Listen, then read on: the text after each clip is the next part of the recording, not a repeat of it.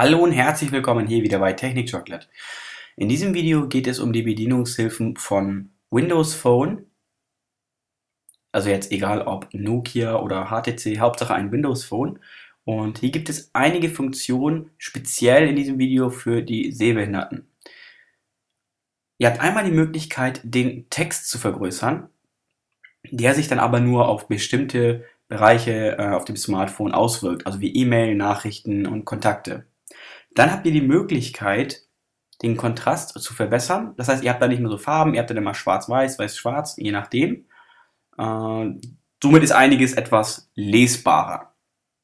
Und als drittes habt ihr die Möglichkeit, eine Bildschirmlupe, was ich am besten finde, zu öffnen, äh, zu aktivieren und somit könnt ihr mit zwei Fingern tippen, einfach die Bildschirmlupe aktivieren und damit arbeiten.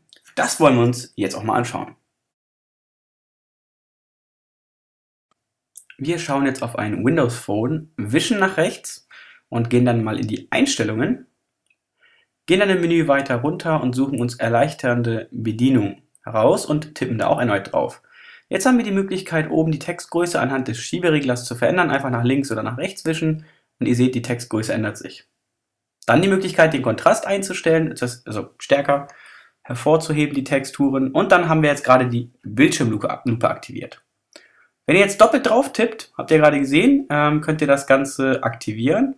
Und wenn ihr mit zwei Fingern nach oben oder nach unten fahrt, also doppelt tippen nach oben und nach unten wischen, könnt ihr das Ganze vergrößern und verkleinern. Wir sehen gerade, wie wir hier auf dem Bildschirm herumfahren. Jetzt gehen wir mal kurz zurück aus dem Menü hier wieder. Genau, und mit zwei Fingern halt drauf tippen. So, jetzt zwei Finger drauf tippen, wir sind drinnen und können das Ganze wirklich sehr, sehr groß machen. Das war jetzt ein kleiner Einblick in die Bedienungshilfen bzw. in die erleichterte Bedienung vom Windows Phone. Eine wirklich sehr gute Sache, wie ich finde.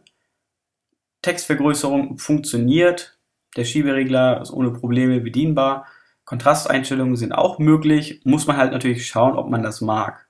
Aber dadurch verschwinden einige Bilder, beziehungsweise die Farben der Bilder. Wie ihr auch gesehen hat in dem Video, könnt ihr euch ja nochmal anschauen, ähm, wenn man die Kontrasteinstellungen aktiviert, dann wurde zum Beispiel hier der blaue Balken vom, von der Textvergrößerung, also was man sich ein, in dem Schieberegler, was man von links nach rechts oder von rechts nach links wischen konnte, wurde dadurch weiß. Das kann wieder ein bisschen zur Verwirrung führen, wenn man das nicht immer nutzt.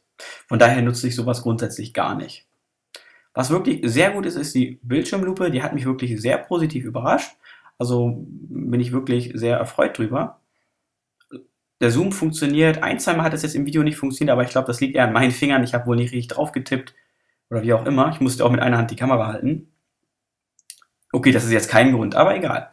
Ähm, was natürlich so ein bisschen schade ist, finde ich, und da könnt ihr mir natürlich gerne in die Kommentare schreiben, wenn man mit zwei Fingern doppelt tippt, ist man in der Lupe drin ne? und kann man mit den Fingern ja nach hin und her fahren. Aber sobald man äh, die Finger von dem Display entfernt, dann bleibt er sofort stehen.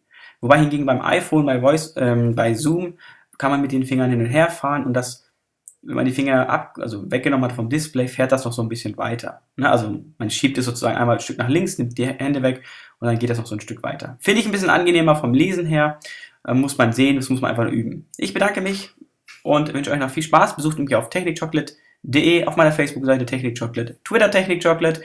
Gebt mir einen Daumen hoch und abonniert natürlich meinen YouTube-Kanal. Bis zum nächsten Video.